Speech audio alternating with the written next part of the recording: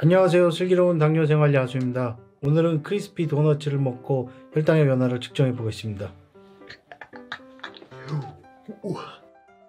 우와. 이거 오늘 한 통을 다 먹으면 안 되겠죠? 그렇습니다. 하나만 먹어야지 하나만. 근데 이 하나만 먹는 것도 워낙에 비주얼이 그냥 뭐 설탕이 막 아시죠? 설탕이 워낙에 많이 발라져 있어서 다 먹을 수는 없고요. 하나만 먹겠습니다. 하나가 어딥니까? 하나가 제가 유튜브를 찍는다고 마녀가 저에게 제안을 했을 때 그때 제가 제안을 수락했던 이유가 바로 이런 것이죠. 저의 아내가 마녀인 이상 이런 유튜브가 아니었으면 절대 먹을 수 없었을 겁니다. 하지만 유튜브를 촬영하고 있으니 이런 기회가 저에게도 오는군요.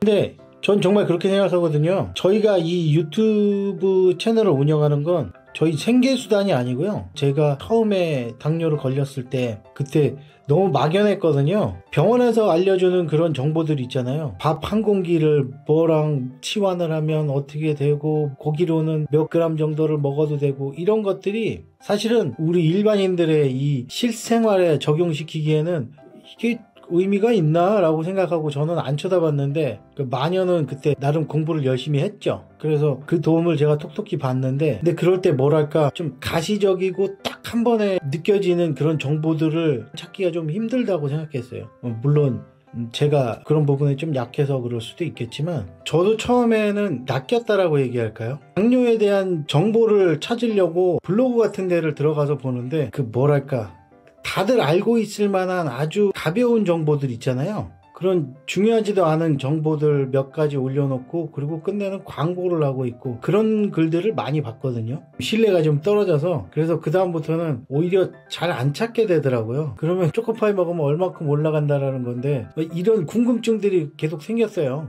그러다가 마녀가 이런 제안을 했기 때문에 그래서 이렇게 잘 이어가고 있는데 생각보다 길게 하고 있어요.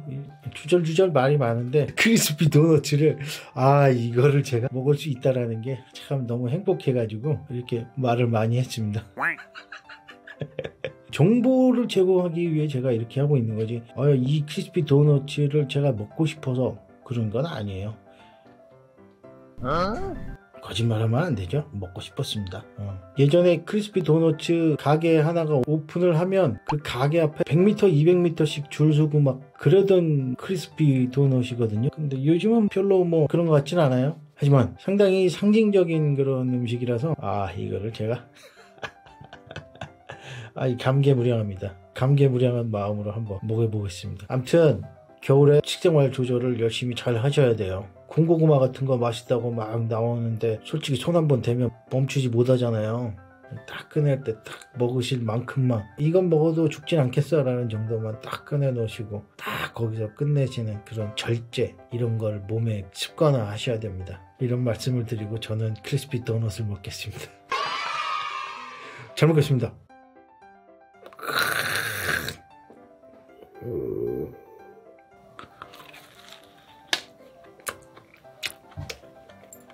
음. 아, 묻어있는 건 다 먹어야죠. 그죠?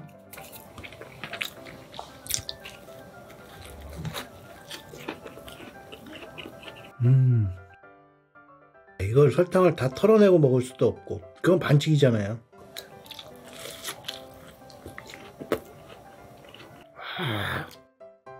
아, 근데 안에 딸기잼이 없으니까 좀 약한 것 같아요.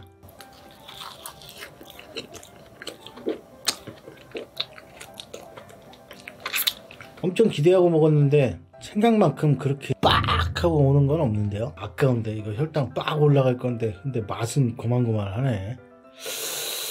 아쉽습니다. 뭐 한 바퀴 더 먹어볼까요?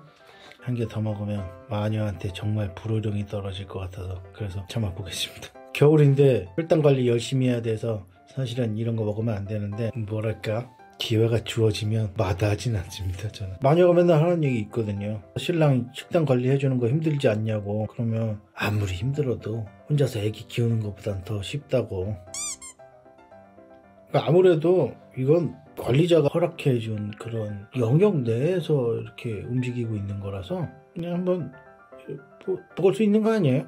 절대로 제가 우긴 거 아니거든요. 많이 찔리는 모양인데 제가 네, 그렇게 크게 찔릴 필요는 없었는데 오늘 이렇게 크리스피 크림 도너츠를 먹어봤는데요. 기대되는 혈당 변화 한번 보시죠. 잘 먹었습니다.